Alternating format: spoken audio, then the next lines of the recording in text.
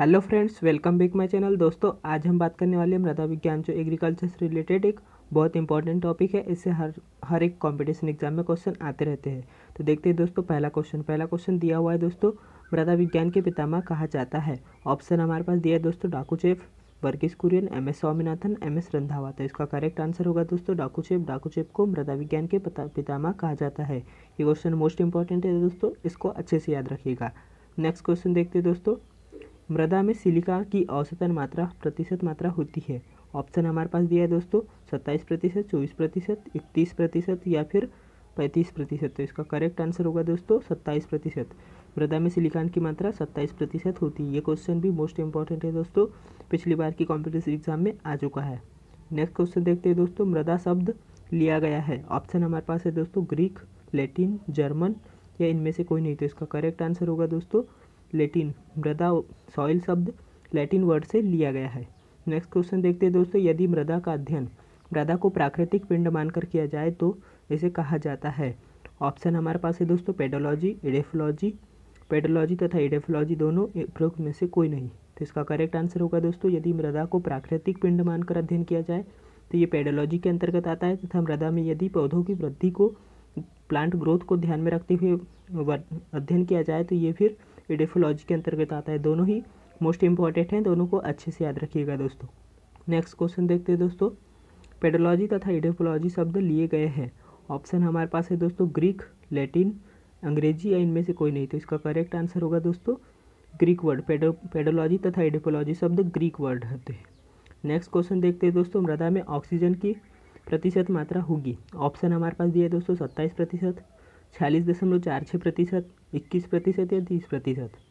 इसका correct answer होगा दोस्तों, छियालीस दशमलव चार छः प्रतिशत। मृदा में ऑक्सीजन की मात्रा छियालीस दशमलव चार छः प्रतिशत होती है। ये क्वेश्चन मोस्ट इंपॉर्टेंट है दोस्तों। प्रत्येक बार कॉम्पिटिशन एग्ज़ाम में रिपीट होते रहता है। नेक्स्ट क्वेश्चन दिया हुआ है दोस्तों, प्राथमिक खनिजों का आकार होता है। ऑप्शन हमारे पास दिया है दोस्तों, ज़ीरो दशमलव ज़ीरो ज़ीरो दो एम एम से अधिक, ज़ीरो दशमलव ज़ीरो ज़ीरो दो एम एम से कम उपरोक्त दोनों एन में से कोई नहीं। तो इसका करेक्ट आंसर होगा दोस्तों, ज़ीरो दशमलव ज़ीरो ज़ीरो दो एम एम से अधिक जो होता है प्राथमिक खनिज का आकार होता है तथा ज़ीरो दशमलव ज़ीरो ज़ीरो दो एम एम से कम जो द्वितीय खनिज का आकार होता है। दोनों ही मोस्ट इंपॉर्टेंट है, दोनों को ही अच्छे से याद रखिएगा। नेक्स्ट क्वेश्चन देखते हैं दोस्तों, माल्ट मोरेलोनाइट अयस्क होता है। ऑप्शन हमारे पास दिया है दोस्तों सिलिकेट वर्ग सल्फेट वर्ग ऑक्साइड वर्ग इनमें से कोई नहीं। तो इसका करेक्ट आंसर होगा दोस्तों, माल्ट मोरेलोनाइट सिलिकेट वर्ग के अंतर्गत आता है। ये क्वेश्चन मोस्ट इंपॉर्टेंट है, बहुत सारी कॉम्पिटिटिव एग्ज़ाम में आ चुका है। नेक्स्ट क्वेश्चन देखते हैं दोस्तों, निम्न में से अग्नि चट्टान का उदाहरण है। ऑप्शन हमारे पास दिया ग्रेनाइट, रायलाइट, बेसाल्ट या उपरोक्त सभी। तो इसका करेक्ट आंसर होगा दोस्तों, उपरोक्त सभी यहाँ पर जितने भी दिए हुए हैं, सभी अग्नि चट्टानों के उदाहरण होते हैं। नेक्स्ट क्वेश्चन देखते हैं दोस्तों, निम्न में से अम्लीय अग्नि चट्टान का उदाहरण है। ऑप्शन हमारे पास दिया रायोलाइट, ग्रेनाइट, बेसाल्ट या उपरोक्त में से कोई नहीं। तो इसका करेक्ट आंसर होगा दोस्तों, ग्रेनाइट। ग्रेनाइट जो होती है, अम्लीय अग्नि चट्टान का उदाहरण है। ये क्वेश्चन भी मोस्ट इंपॉर्टेंट है, बहुत सारे बार रिपीट हो चुका है। नेक्स्ट क्वेश्चन देखते हैं दोस्तों। संगमरमर रूपांतरित चट्टान है। ऑप्शन हमारे पास दिए चूना पत्थर, बालू पत्थर ग्रेनाइट या सिल्ट, स्लेटी पत्थर।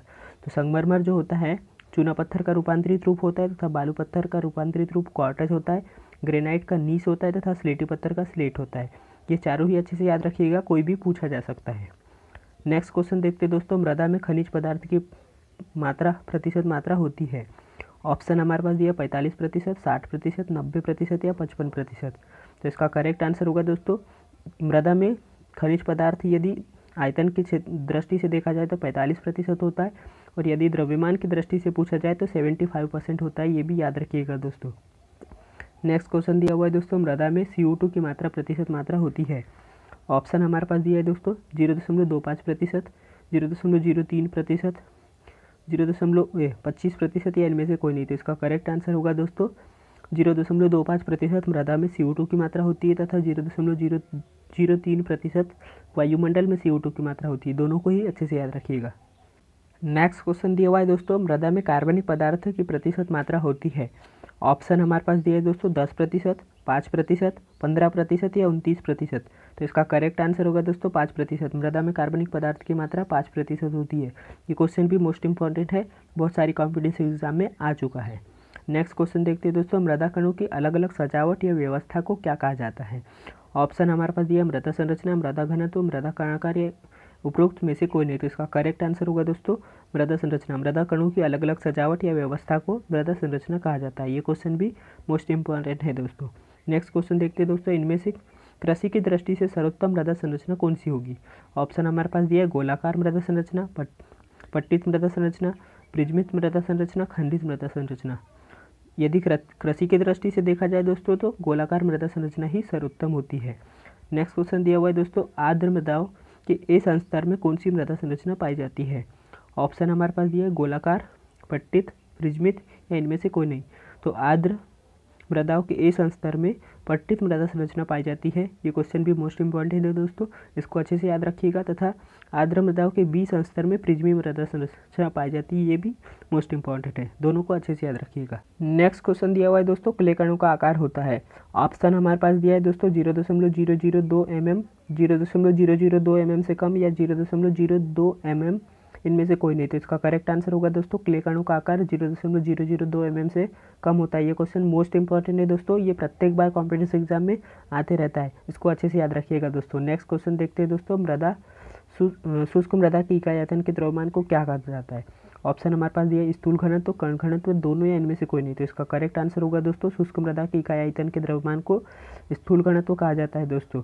नेक्स्ट क्वेश्चन दिया हुआ है दोस्तों, कृषि योग्य मृदा का कण घनत्व होता है। ऑप्शन हमारे पास दिया है। एक दशमलव एक दशमलव तीन तीन ग्राम प्रति घन सेंटीमीटर दो दशमलव छः पाँच ग्राम प्रति घन सेंटीमीटर दो दशमलव छः ज़ीरो ग्राम प्रति घन सेंटीमीटर या इनमें से कोई नहीं। तो इसका करेक्ट आंसर होगा दोस्तों कृषि योग्य मृदाओं का कण घनत्व ये भी क्वेश्चन मोस्ट इंपॉर्टेंट है। इसका करेक्ट आंसर होगा दोस्तों, दो दशमलव छः पाँच ग्राम प्रति घन सेंटीमीटर जो होता है कृषि योग्य मृदाओं का कण घनत्व होता है दोस्तों। इसी प्रकार की वीडियोज़ पाने के लिए हमारे चैनल को सब्सक्राइब कीजिए तथा वीडियो को लाइक कीजिए।